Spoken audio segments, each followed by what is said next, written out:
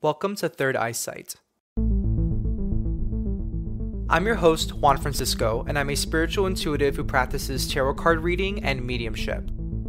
I've always been super curious about the supernatural and paranormal, and I'm here to share my stories and interview folks who want to share their own stories. Let's get to it.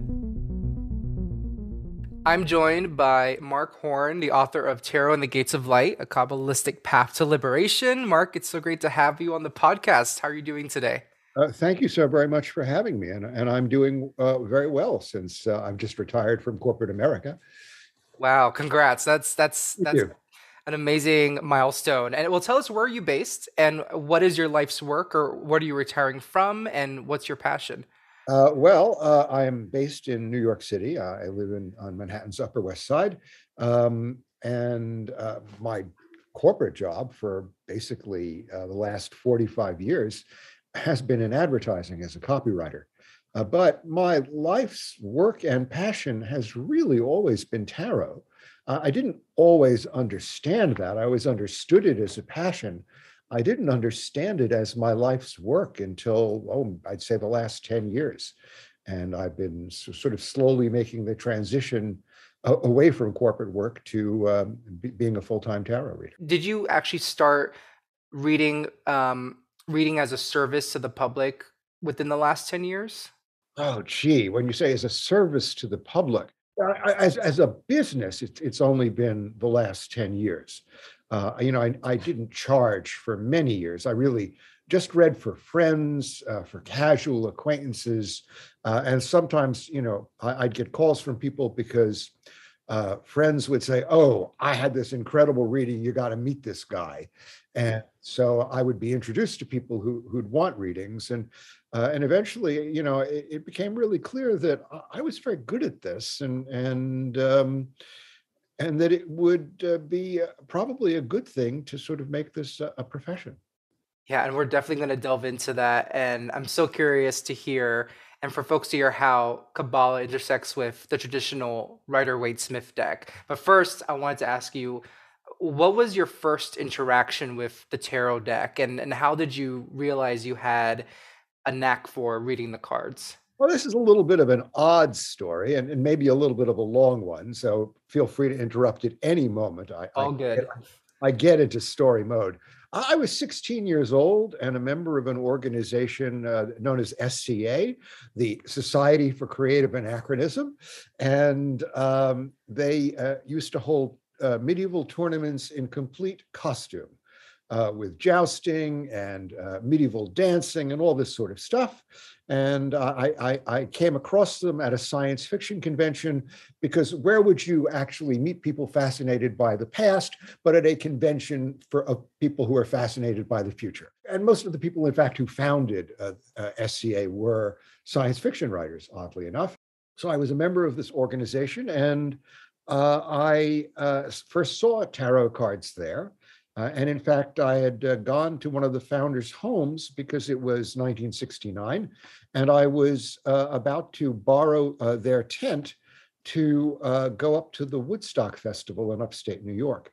And before I went up, um, she just said, Why don't I give you a tarot reading and we'll find out what this is going to be like for you? And I was excited by that. And she uh, laid the cards out and she looked at them and she looked at me and she looked at the cards and she said, you know, this is not really about the week. I, you know, this seems to be about your life in general. And I think you would be, based on what these cards seem to show, an excellent tarot reader. And uh, that thrilled me because I was fascinated by the images on these cards. They called to me as soon as I saw them. And I just thought I had to know more about them. And, and of course, you know, the images, at least on the on the, the Waite Smith deck, you know, they are very influenced by uh, medieval and Renaissance imagery. And I was already somewhat interested in that. So, and, and as a literature major, the, the symbolism of the Renaissance and the Middle Ages really spoke to me. I, I felt like tarot cards were kind of like a warehouse of Western symbolism. And I wanted, you know, and I feel like they they spoke to me. So I wanted to learn all about them. And so when when I, I said, yes, I'm interested, she recommended a couple of books and, and she told me what deck to get. And, you know, within a few weeks, I was reading for other people. Wow, and I know that your book has a lot of this biographical information in it. So saying, you know, someone should write a book about that. You've done it, but I feel like this is the makings of uh, this. It's just like if there was a film about how you discovered tarot, it'd be so cool to, to see that. And that's just and and okay, there's a lot. So the founder of of SCA, the Society for Creative Anachronism, and then Woodstock. It's like I bet people listening like, whoa, that is so so much coolness in one one that was one year of your life. It was also the year, you know, uh, that the Gay Liberation Front was founded and the Stonewall riots, and when I sort of came out into gay politics. Um, you know, 1969 was a major year in my life, and so much changed. So much changed. I'd say it laid the tracks for the rest of my life. Can you give us just for a quick moment uh, uh a, a, a, peek into what the first Woodstock festival was like. What was it like being there? I could imagine it was a lot. well, but, but you know what? You know, everybody you know looks at looks at the the pictures in the movie, and it looks all very romantic and exciting. And in many ways, it was. But uh, everybody does know that there were thunderstorms and it rained a lot of the time. But most people don't realize that in upstate New York in the summer, overnight it gets very cold and um, the, the field we were in um, was a pasture, a cow pasture. Uh, so uh, it was filled with um, um cow droppings, uh, and the rain uh, turned the entire slope into a, a, you know a mud shit slide. A mud. Uh, I was gonna say a mudslide, but worse. Oh goodness. Oh yeah, no, that's kind of what it was. So it, it was really uh, stinky, and uh, and then of course you know there were all these porta potties which uh, they didn't really have enough of them because they didn't expect a quarter of a million people to show up so really by the first day all of them were overflowing um, you know uh, it was the summer of love and putting up with shit That's yeah, it, it, it, it, really was it, really was so you know when you ask for a memory of woodstock you know what i would say is um, Santana's Soul Sacrifice, which I, I still watch the video of this performance because it is mind blowing, and and the the miserable weather.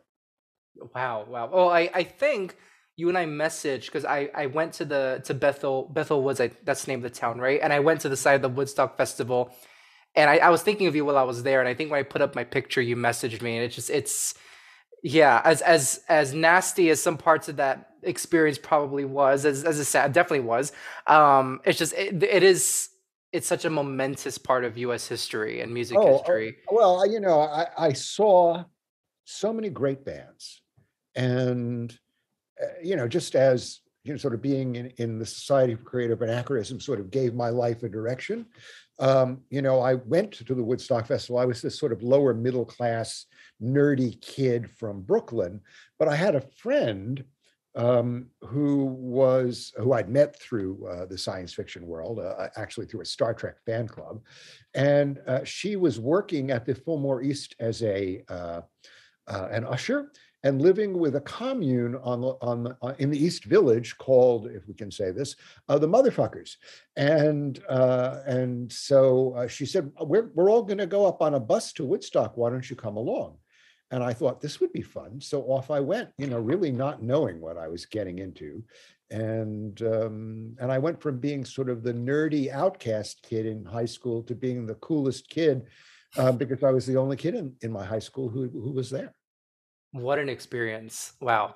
Well, jumping back into your work of tarot, in in the years you've done readings for people, whether um, uh, whether for pay or for not. Is there one experience? Maybe there's many, but if there's one experience you could think of that has really stood out to you as memorable in a reading, if you feel comfortable sharing. I'll give you two experiences because one is about a reading and one is sort of about a book, and I'll, the book, and I'll tell you about the book experience first. Which is, you know, as, as an author, you get letters from people who uh, read the book, and you get email from people who've read the book. And I got a letter uh, that had gone to my publisher, and uh, the return address was a, a prison, a penitentiary in Arizona. Uh, it was from a, uh, a young trans woman who was uh, incarcerated in a men's prison in Arizona, who had uh, somehow come across my book in this prison and read it and did the work of the book. so that uh, what she wrote to me was about how doing the work of the book changed her experience of being incarcerated. Wow. How she was better able to cope with the situation and how she felt better prepared for what life would be when she got out. And I, you know, of course, I, I, don't have a name or any contact information because when you send a letter from a prison like that, it's only an, a, a, prisoner's number and the and the prison itself. Uh, so that's as much as I know. It was a handwritten three-page letter, which just blew me away, and I felt like if if my book has done nothing else other than to have positively affected this person, you know, there was a reason for me to have done this and and if so it was very it was a moving experience for me and, and this is and it's really why i wrote the book because i wanted to do it to help change lives for the better to sort of receive that feedback from this rather extreme situation was just profoundly moving. That that gets me emotional and gives me chills. That's that's absolutely incredible. And you know you ask about you know what um, experience i've had actually doing readings well, you know, there are the, you know, the readings where you kind of had that sort of spooky moment where it's like, because, you know, I don't, I don't think of myself as psychic. And I tell people I'm not a psychic. I don't tell the future. Um, uh, although what I say is, you know, we, we can see possible futures from what the cards show, but sometimes something comes through. And when it does, um, I have to say it, but I also have to say to people, okay, um, I don't generally do this, but sometimes something comes through and this is what I'm getting. So I'm, I want you to know this is what I'm getting, and I'm going to tell you what it is. But that doesn't mean it's accurate.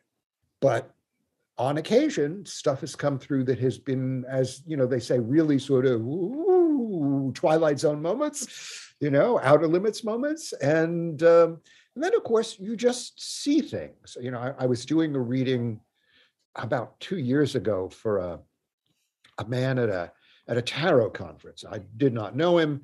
Uh, he came up to me and he was clearly nervous, but he had a question. And um, he asked, and uh, some cards came up, and I looked at the cards. And one card in particular came up in a particular arrangement. It was the Nine of Wands.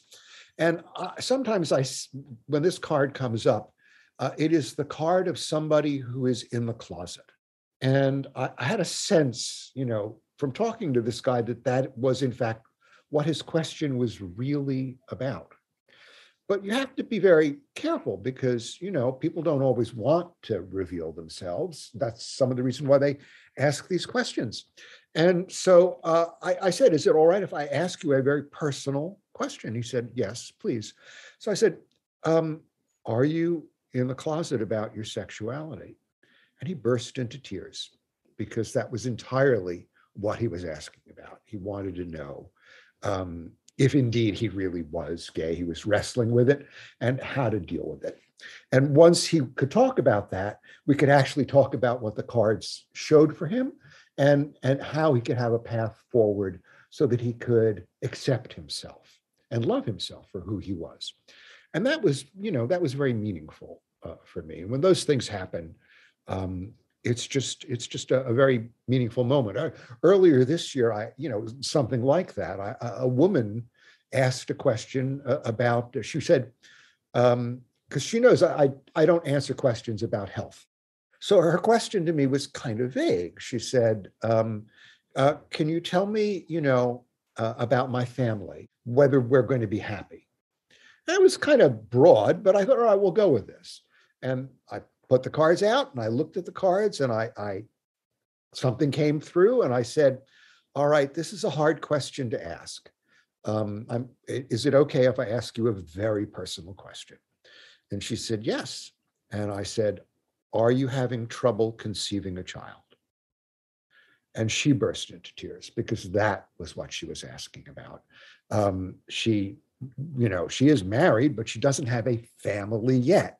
She was basically trying to ask, will I have a, will I have children? And even though it wasn't what she asked, the cards spoke to it. And and I, I felt nervous asking if this was what was going on. And when she uh, uh, confirmed it, Uh, then, of course, now I had to actually talk about it and what the cards showed. And as was I said to her, just because the cards say something doesn't mean it's actually what will happen. This is these are possibilities. And there are always ways you can change the cards. I, I, I also often tell people, uh, you know, sometimes people get a, a reading and they see a lot of cards that are reversed. And some people ask, oh, if a card's upside down, does it change the meaning? Well, some people read reversals, some people don't, and some people change their mind based on the circumstances. I'm in that third category. Based on the circumstances, I decide how I'm going to read it.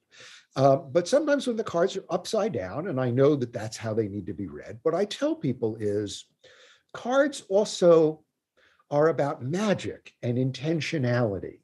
So if you see something in an upside down card that you don't like, when the reading is over, let us consciously say you are going to change the energy around this and turn the cards right side up. So that simply by making the affirmation that you're going to change the energy around it and turning the card around to do so as a statement of you're going to do that is a kind of magical intention. And for some people, it works very well. Wow, I've I've never because I work with reversals and I'm also in that third category if it depends on the intuitive feeling I'm getting. Yes. But what you just said about at the end of a reading reversing the reversal uh, um, and and letting that be an act of uh, a way of uh, of an affirmation of itself to reverse the reverse card that's really powerful i've never uh, I, that's the first time i hear someone share that that that method one of the things that's important for me to, to let people know is that cards don't take away your agency. They're information that you can use to act and to change your life so that um, you know i don't want people to come away from a reading feeling hopeless that they can't do anything that you know it's written in the cards. That's what it is. Uh, no. Um, well sometimes it it is um, you know when you get you know six or seven or eight or ten major arcana cards in a reading you know there's a lot of powerful energy around this and that then most likely um, it's out of your hands. But those cases are very rare. Right, right. And and going back to those two readings you described, where you had uh, you felt the need to ask those not easy questions to ask. I think that that that was the key is that you asked for permission, and I I feel like I've I think I've I have some memories of witnessing um, some intuitive workers who do not do that, and they just come right out with it. I think it was in a group reading once that I was in, or maybe it was a personal one-on-one reading, and I, that's so important to ask for that permission it really is very much so uh, you know i think that uh, as uh, readers uh, we are in a we're, we're put in a position of trust and and ethics are extremely important for, for tarot card readers you know on my on my website i have a page entirely devoted to what i will and won't do uh, boundaries and uh, and secrecy and and how private things are there are things that you know I will never reveal. Uh, there are, you know, I've done, you know, not to boast, but I have done readings for quote unquote celebrities. There are people who are quote celebrity readers and they like to talk about who they've done readings for. My feeling is this is private inner work. You don't share it with others. If someone wants to say, "Hey, I got this great reading from Mark Horn, you should go see him," that I'm, I appreciate that. But uh, you know, I'm not I'm not looking to use somebody's celebrity for my advertising. You know, that's not, that's just, it doesn't feel right. Right. I 100% relate to that. Although I've never read people of that, of that, um, status in culture, but I, I, I would probably feel the same way. And I, I really appreciate that. So your book is called Tarot and the Gates of Light, a Kabbalistic Path to Liberation. Could you share with us uh, what are the gates of light? What is that concept? Well, so uh, it's a reference to a book that was called Gates of Light that was written in the uh, 13th century uh, by a, a, Spanish rabbi who was in the circle of the Kabbalists who wrote the Zohar, uh, the great uh, uh, Kabbalistic classic, perhaps the most central work of, of Kabbalah. Um, but uh, perhaps the second most famous work in, uh, in the Kabbalistic tradition is this book called Gates of Light. And it is a reference to uh, the 10 Sephirot. And this is a, a Kabbalistic concept. Um, there is a, a, concept called the Tree of Life, and there are these, what we'll call uh, spheres uh, on the diagram. They look like circles. Um, and they're called Sephirot. Uh, they are energy centers. If you were to think of it as sort of analogous to the chakra system, um, these energy centers are in our own bodies, but they're also everywhere. And each energy center has its own characteristics and qualities. And uh, you can think of them as um, uh, the diagram of the tree of life as a step down transformer of how the energy from the divine makes its way down into manifestation. Because if you were to try and sort of, fit, you know, they say you can't look on the face of God and live, right? Uh, so this is the way, you know, divine energy moves through these uh, step down transformers until it comes to the world of manifestation and something that we can interact with. And um, the, the rabbis taught uh, in Kabbalistic practice that you could work with the Sephirot uh, internally and externally as a way of purifying your soul. And uh, the reason the book is called Tarot and the Gates of Light uh, is because uh, the tarot deck has a connection to Kabbalistic teaching. And the cards that are numbered one through 10 in the uh, minor arcana, in the four suits, are in fact connected to the 10 Sephirot.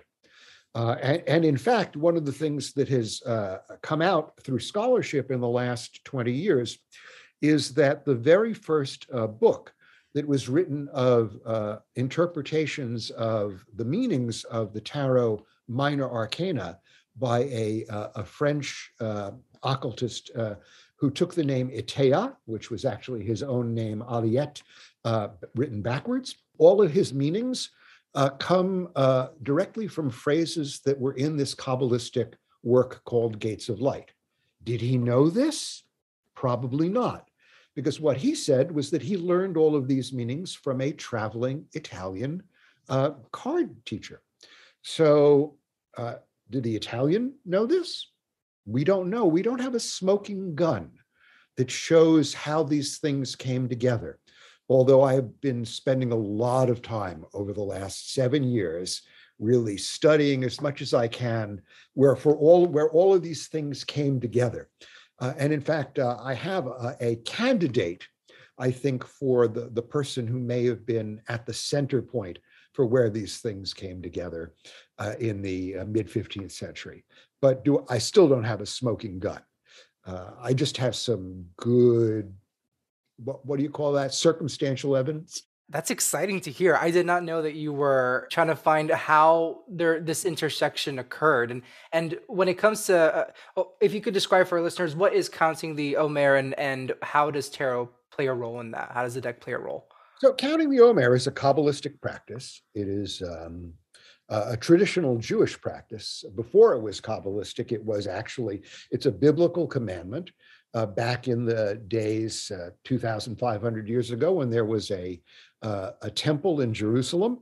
Uh, it was part of the temple practice to, between the holidays of Passover and Pentecost to bring a sacrifice of barley grain to the temple for that 49 day period every day. It was an agricultural holiday. And when the temple was destroyed, the rabbis thought, well, but it's still a commandment in the Bible. How do we do this if there's no temple to bring this to? And they decided that mystically, the thing to do would be first to still count the days and to bring a different kind of sacrifice, an internal sacrifice. it was about, uh, they decided that uh, the goal would be to purify one's soul by working with 49 different Sephirotic combinations over this period each day, Kabbalistically, so that on the 50th day, Pentecost, uh, one is ready for the ritual that takes place on that day, which is, um, uh, as you know, Pentecost is also a Christian holiday. It became a Christian holiday, uh, but it was originally, and it still is, a Jewish holiday. And Pentecost in Judaism is the day uh, 50 days after the ancient uh, Hebrews left Egypt, uh, enslavement in Egypt, and 50 days later, they arrive at the foot of Mount Sinai, and they all hear the voice of the divine. Of course, you know, then all the Israelites say, Oh, this is too much for us, Moses. You go to the top of the mountain. We can't handle this. It's too much for us. But everybody heard the voice. And in fact, it was not only the Israelites, because the, the enslaved people were not only the Israelites, but a mixed multitude. And the, the um, tradition is that really the souls of all humanity were present for that moment. So that if you are attracted to this, it's because somewhere in your soul memory you remember this event. Mm-hmm. And the goal of purifying your soul in uh, in the Jewish practice, uh, when you're counting the Omer today, is so that on the holiday of Pentecost, when we stay up all night waiting for our own personal revelation in meditation, that you have purified the channels in your soul so that you're more able to directly hear the voice of the divine. That's what it's about. And if you can do this practice for the 49 days and really sort of open the channels, your experience on that 50th day will be amazing. And, I know this because I've done it myself, and and people who have done the practice and who've written me um, tell me amazing things. Uh, and in fact, there is a, a group of people. I, I, love telling this story. There's a group of tarot people in Albuquerque, almost none of whom are, are, are Jewish, uh, but they're tarot people. And they got my book uh, three years ago when it came out, and they decided as a group they would do this practice together. And they met weekly to discuss how it was going for them for seven weeks. And at the end of the seven weeks, they all wrote me to say this was a very powerful experience. And in fact, they have now done this is the third year they're doing it. Wow. Uh, they do it every year annually, and and uh, they've asked me to come and speak to them about it. And when the practice ends in a couple of weeks this year, I'll be there uh, the day after to sort of uh, hear all their experiences again and share my own. It is, um, as I said, it's profoundly moving. And I am so grateful that I've been able to sort of bring this practice, which is, you know, when I first learned about it about 25 years ago, I, you know, because it's not even a very well known practice in Judaism. So to be able to bring this practice to a wider group of people and share its benefits, I'm just really grateful that I, have had this um, opportunity. Yeah, and what an impact. The feeling of having that impact on people. Uh, I just can imagine how surreal it might feel to know that there is a book club of tarot readers or a group of tarot readers in Albuquerque, miles and miles away, who are telling you how impactful your book is. Yeah. And so, what does day one of doing this practice looks like? I don't want to give everything away because I want I want folks to learn even more through your book. But w- what does day one of counting the Omer with the tarot deck look like? Uh, the, the first day, so we work with the in the in this practice, we work with cards in the minor arcana that are numbered four through ten. We don't work with the ace, the two, or the three because we work with the lower seven sephirot, which means uh, the fourth through the tenth uh, sephirot, which and they correspond to the fourth through the tenth numbered cards.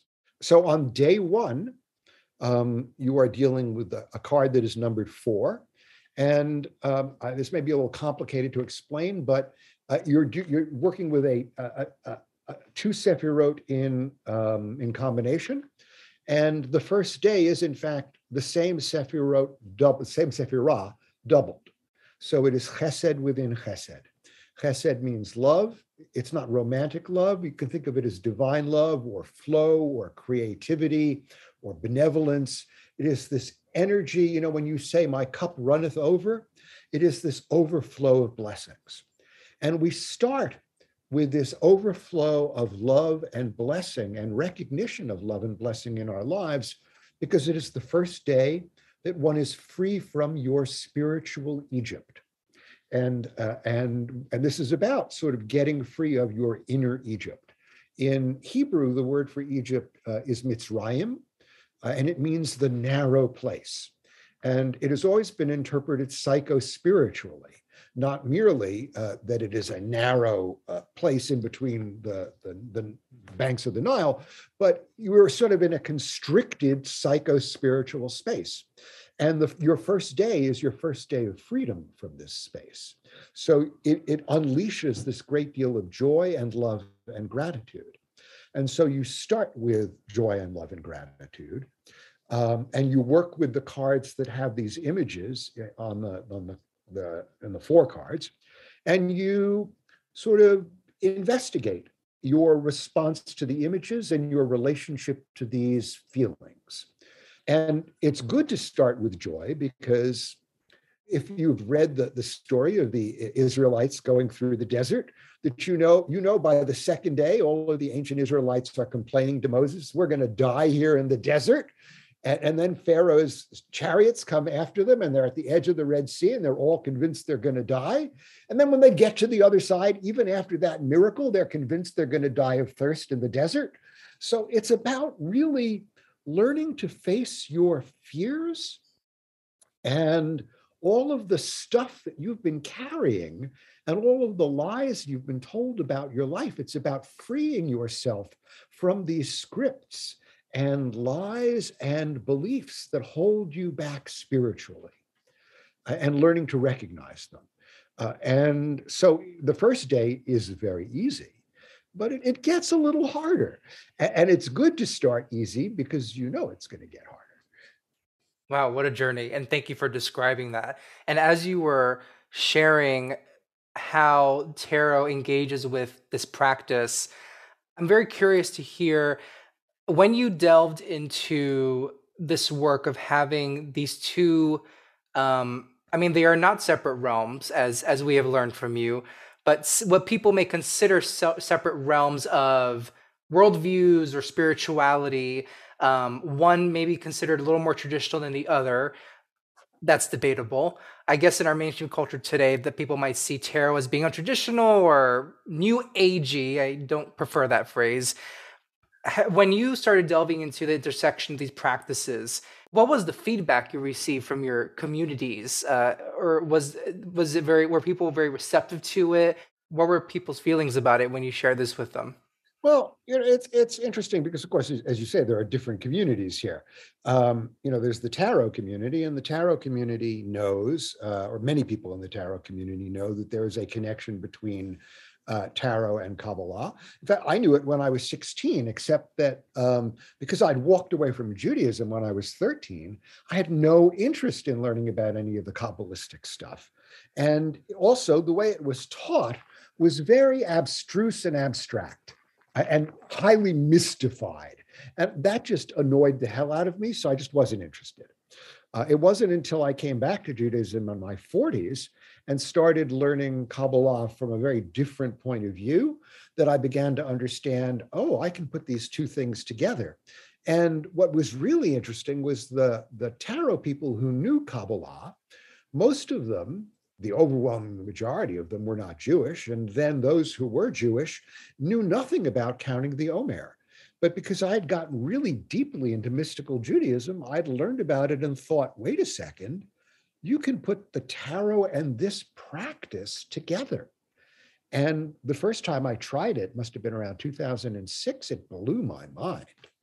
And when I started to talk about it in the tarot world, people were interested. Um, but as I say, you know, they didn't really know much about Jewish practice or really traditional Kabbalah. They knew more sort of occult Hermetic Kabbalah, which is somewhat different.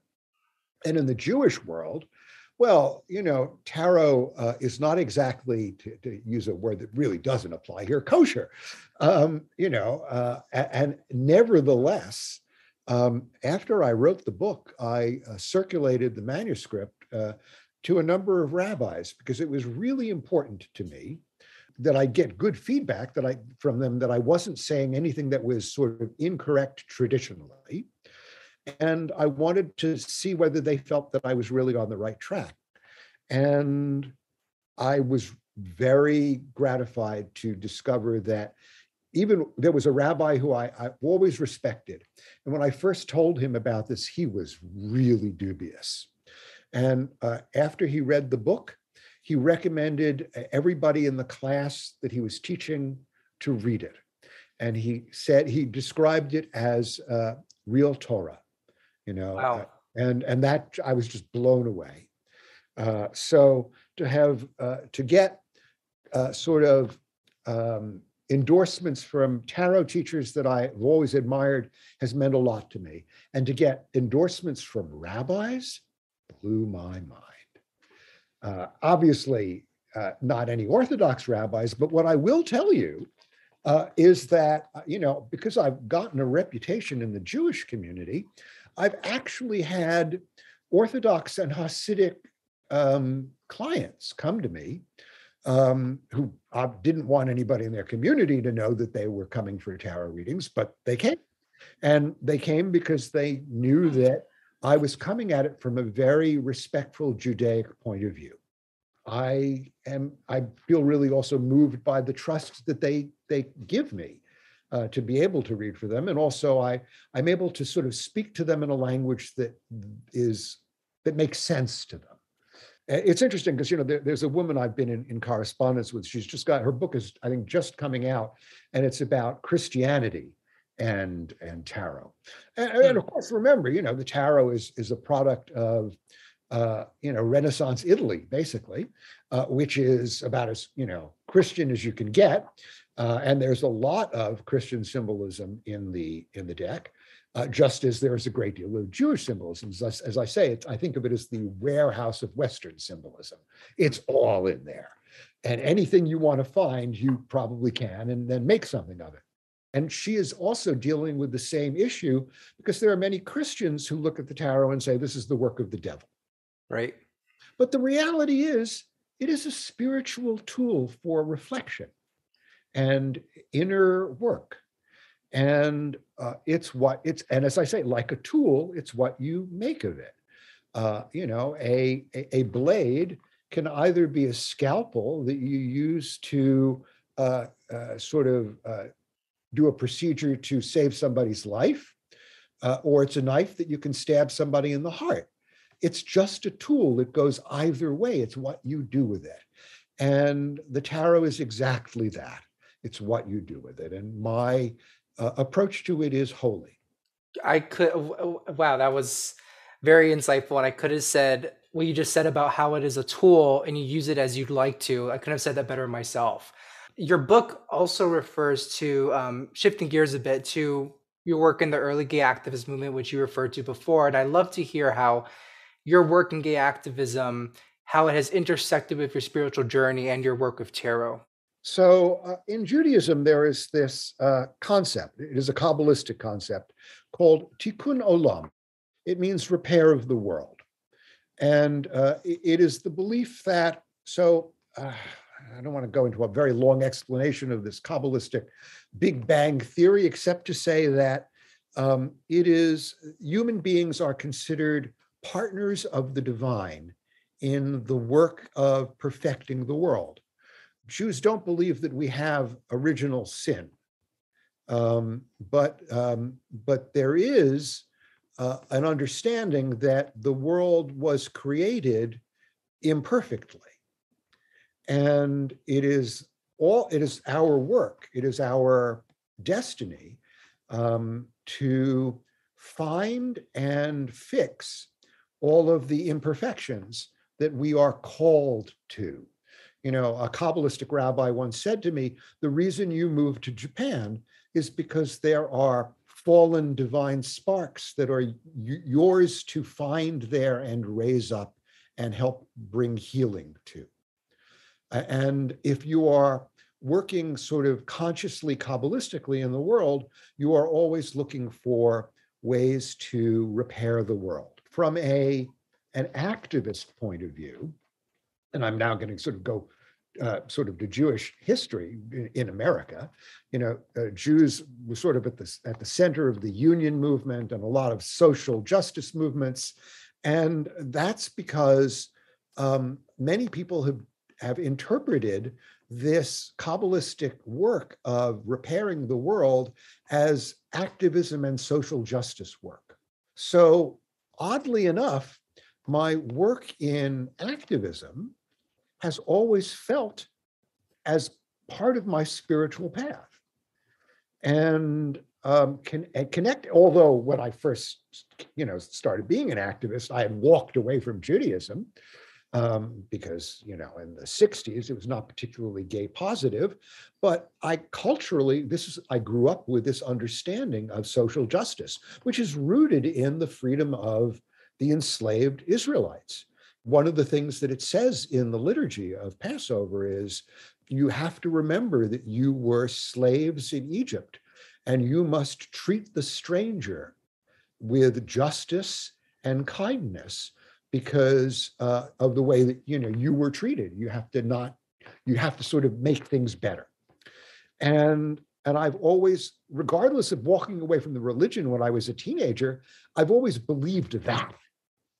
You know, that is sort of the, the Jewish version of the golden rule and uh, and it really sort of influenced my work in activism. So to sort of come back to it full circle in Kabbalah and see how it is taught as something that you are supposed to do in terms of social justice or all different kinds of things, well, you know, that's part of the work.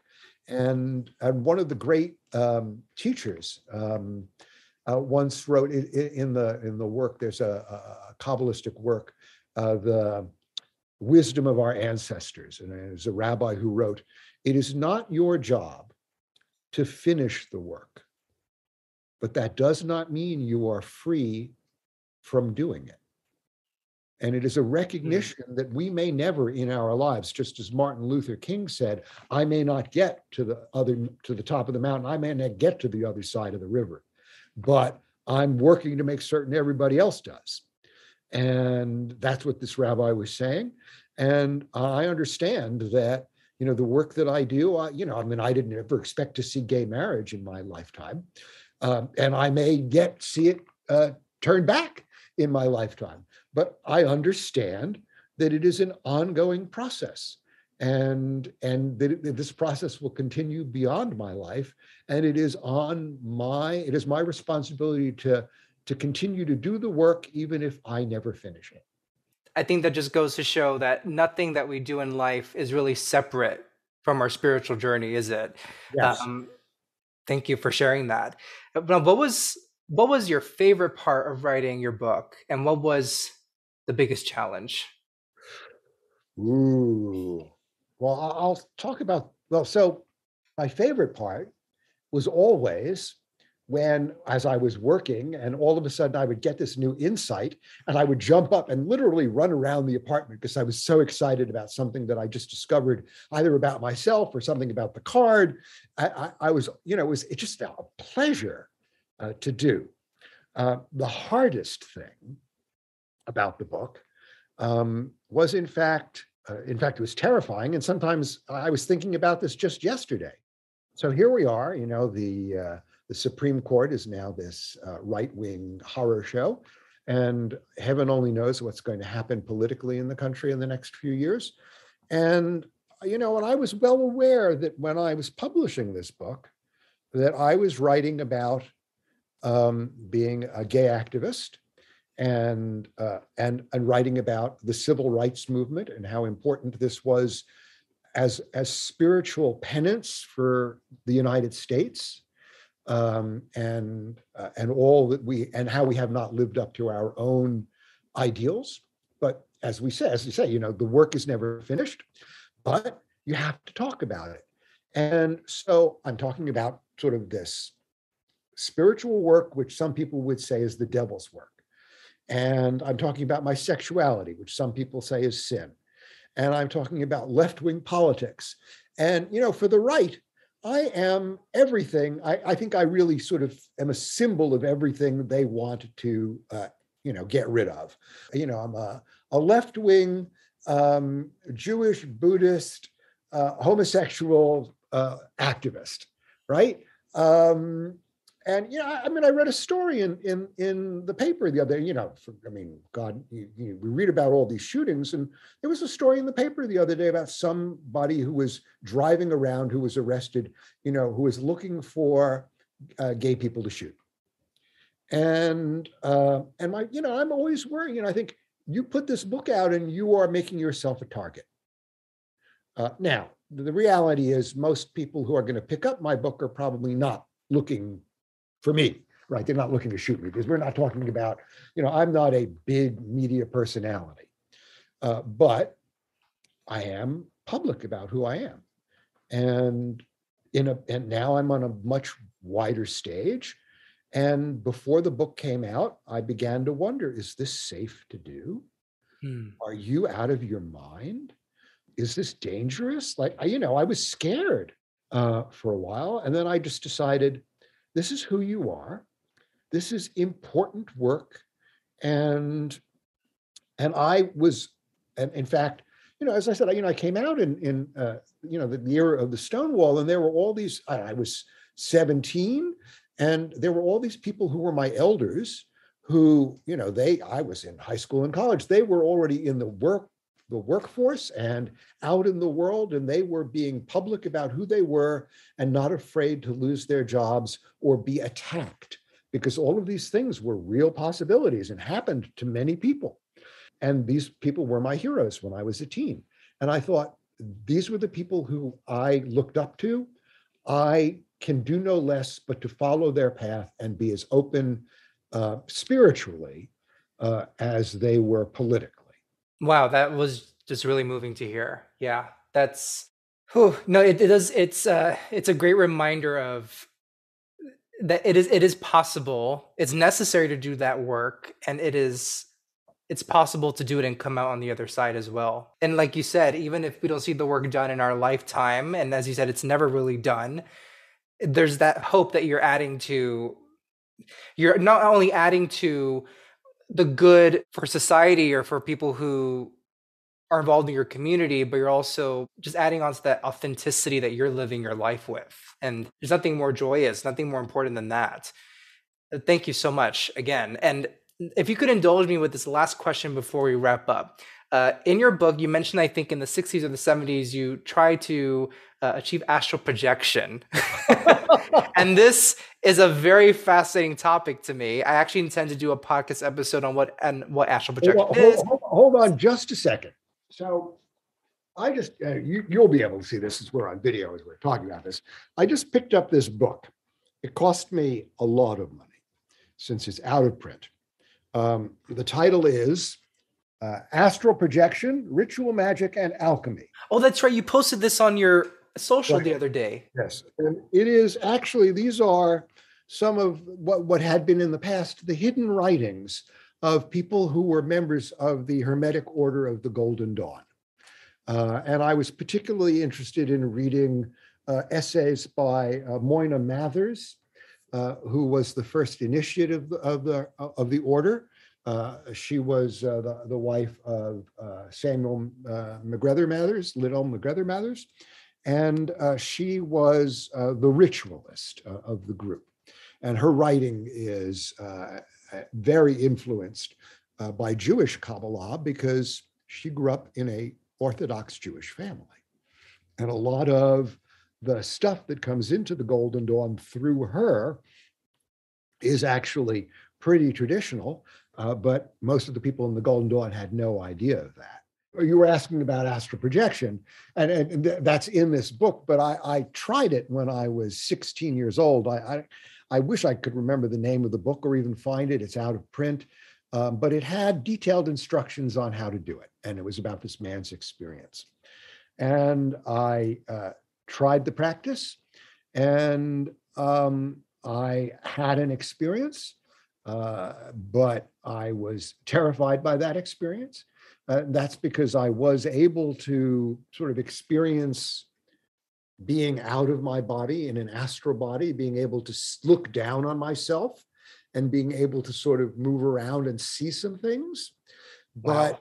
I couldn't control the movements very well. And because I couldn't control anything, it was terrifying to me uh, you know, I didn't know, you know, like, could I get back in my body? Could, you know, what was going to happen? I just didn't know. I just thought this was dangerous. I, you know, I didn't have someone to do this with who was experienced. And I, I just felt like it was probably not for me. So I put it aside.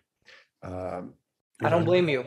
I mean, nowadays, you know, I, I, you know, there was a book that I read uh, a few years ago, uh, which was about my meditation teacher's teacher, and uh, one of his students, uh, and this teacher lived in uh, uh, what is now Yangon, Ra- Rangoon, and this student lived in Michigan, and they had studied together in the i think the 30s or the 40s or something. And then you know they lived in different countries but they met every day on the astral plane and this book is a sort of a record of their astral conversations which they would after they would have them on the astral plane they would write to each other about it, their experiences to sort of check if they were in fact really doing this and uh, and it, when I read it, I thought, oh yeah, this is astounding stuff. And if I had been able to do this with uh, uh, Sayagyi U Ba Khin, this uh, great teacher, um, I would have loved to have done that, but I, I, he probably would not have uh, accepted me as a student.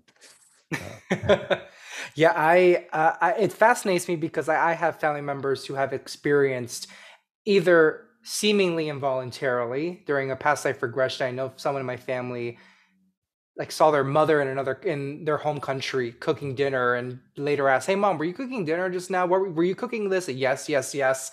And then uh, i had another family relative who had uh, uh, very intentionally astral projected and just fascinating to me. But yes I, I, had my own experience where i was stargazing and looking at the moon uh, after star looking at the stars and focusing on the moon and intending to go to the moon as woohoo as that sounds. Um, and i remember seeing the moon i was i closed my eyes and i saw the moon grow larger really fast and i got too scared and i came back. I don't know I, I, maybe i was imagining it. i don't know but it felt very real. And uh, i haven't done it since and i don't intend to unless i consult with somebody but thank you for indulging me with that no, story no, no, my, my, pleasure. Um, as I say, you know, it is one of the things that helped me understand um, that there are realms beyond my daily experience, and that um, I don't always feel comfortable in these realms. Um, but uh, you know, I have respect for people who are able to sort of move within these realms uh, with expertise and comfort. Right, right. Well, tell our listeners how they can learn more about you and what your website is. Uh, so, uh, uh, first of all, the book, once again, is a Tarot and the Gates of Light, a Kabbalistic path to liberation. But you can find me online at gatesoflighttarot.com. Uh, just, you know, put Gates of Light Tarot into uh, your search engine of choice, and I will probably uh, come up first on your search. Uh, possibly even a story in the New York Times, which I'm uh, grateful to uh, someone for. And um, uh, there's also, I'm also on Instagram. If you look under uh, Gates of Light, uh, I think that's was it Gates of Light Tarot. I think it's just Gates of Light Tarot. I'm not certain. Um, also on Facebook, you just look for uh, Gates of Light Tarot, and and I'll come up. Wonderful. Well, Mark, thank you so much for conversing with me today. I so appreciate no, it. My, my pleasure. I, it's an honor, and I, am grateful uh, to uh, be a part of your journey actually, because I'm, I guess I, you know, I, I can see that you are very powerful at, at some things that I know nothing about.